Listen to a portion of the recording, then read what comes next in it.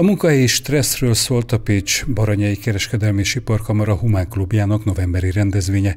Itt az előadók beszéltek arról, hogyan oldhatják a munkahelyeken a stressz okozta helyzetet, ami kihat a hatékonyságra is.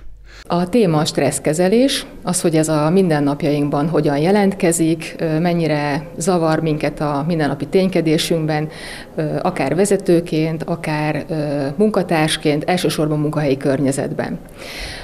Arra gondoltunk, az inspirált minket, hogy a mai világban nagyon-nagyon sokat lehet arról hallani, hogy válság van, recesszió van, krízishelyzet van, és ennek arról az oldaláról, ami úgymond a fizikai, tehát hogy hogyan tudjuk a rezsi csökkenteni, hogyan tudjuk az üzleti működésünket mondjuk úgy alakítani, hogy, hogy gazdaságosabb legyen, hogy hatékonyabban tudjunk működni, viszont szerintem kevés szó esik az emberi részéről, arról, hogy mi ezt a szituációt mentálisan hogyan tudjuk feldolgozni, mit tudunk ezzel kezdeni, és hogyan tudjuk túlélni egyáltalán.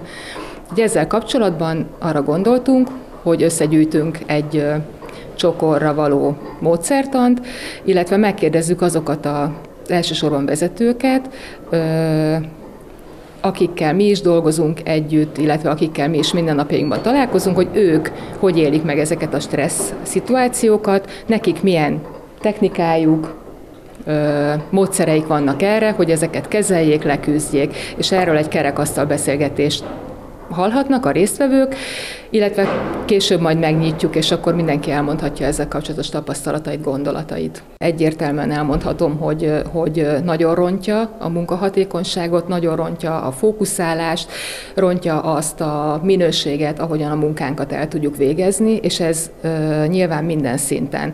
Tehát ez a fizikai dolgozók szintjén is meg tud jelenni, de a vezetők szintjén uh, még inkább.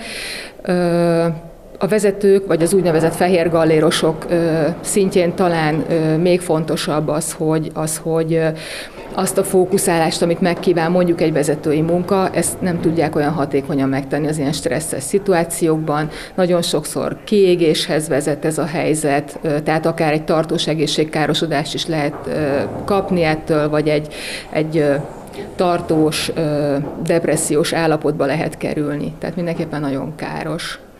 A Pécs Baranyai Kereskedelmi és Iparkamarában közel 50 cég vállalkozás képviselője volt jelen a Humán Klub novemberi rendezvényén.